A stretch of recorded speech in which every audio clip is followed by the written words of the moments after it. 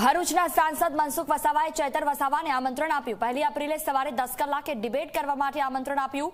રાજપીપળાના ગાંધી ચોક ખાતે ડિબેટ માટે આમંત્રણ આપવામાં આવ્યું છે.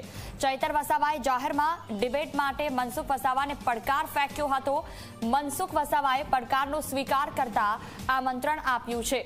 મનસુખ વસાવાએ ટ્વીટ કરી ચૈતર વસાવાને આમંત્રણ આપ્યું છે. ચૈતર વસાવાએ ડિબેટ માટે મનસુખ વસાવાને ફેંક્યો હતો પડકાર. મનસુખ વસાવાએ પડકારનો સ્વીકાર કરતા આમંત્રણ આપ્યું છે.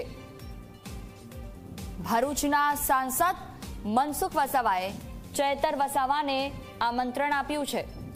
પહેલી એપ્રિલે સવારે દસ કલાકે ડિબેટ કરવા માટે આમંત્રણ આપવામાં આવ્યું. રાજપીપળાના ગાંધી ચોક ખાતે ડિબેટ માટે આમંત્રણ આપવામાં આવ્યું છે.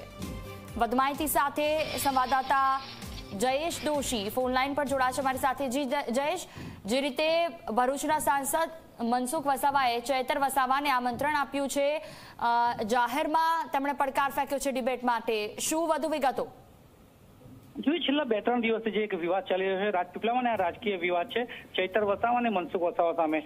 ચૈતર વસાવાનું માનવું છે કે મનસુખભાઈ વસાવાએ તેમના લેટર પેડ પર સીઆર પાટીલે એક પત્ર લખ્યો છે અને તેમાં નર્મદા જિલ્લાના કેટલાક નામી, અનામી જે રાજકીય નેતાઓ છે તેમના નામ લખીને તેઓ ભ્રષ્ટાચાર કરે છે. તે પ્રમાણેનો પત્ર તેમને સીઆર પાટીલ લખ્યો છે. તેની સામે ચૈતર વસાવાએ મનસુખભાઈને સોશિયલ મીડિયા મારફતે જણાવ્યું હતું કે તમે આ બાબતની ખુલ્લી ચર્ચા કરવા માટે આવો અને આપણે આમે સામે બેસી અને ચર્ચા કરીએ. પરંતુ મનસુખભાઈ વસાવે પણ સામે તેવો જવાબ આપ્યો હતો કે તમે પણ આવો અને આપણે સામે બેસીને ચર્ચા કરીએ. તમે તમારા નેતાઓને લઈને આવો, અમે અમારા નેતાઓને લઈને આવીએ અને આપણે ચર્ચા કરીએ. પરંતુ ગઈકાલે જ્યારે જી ચોવીસ કલાકે ચેતર વસાવાને આ વાત જાણ કરી કે મનસુખ વસાવા પડકાર ફેંકવા માટે તૈયાર છે અને આપ ક્યારે આવો છો, ત્યારે ચેતર વસાવાએ ફોન, ટેલિફોનિક વાતમાં જણાવ્યું હતું કે આ મનસુખભાઈ વસાવા જ્યારે પણ કહેશે અને જ્યાં કહેશે, ત્યાં હું આવીશ અને આમને સામે ચર્ચા કરીશું. તો આજે મનસુખ વસાવાએ ટ્વીટ દ્વારા ચૈતર વસાવાને જણાવ્યું છે કે આવતીકાલે સવારે અગિયાર વાગે કે તેઓ રાજપીપળા ગાંધી ચોક પાસે આવે અને આપણે આમને સામને ચર્ચા કરીશું કે કોણે કેવો ભ્રષ્ટાચાર કર્યો છે. જી. બિલકુલ, તમામ જાણકારી બદલ આભાર.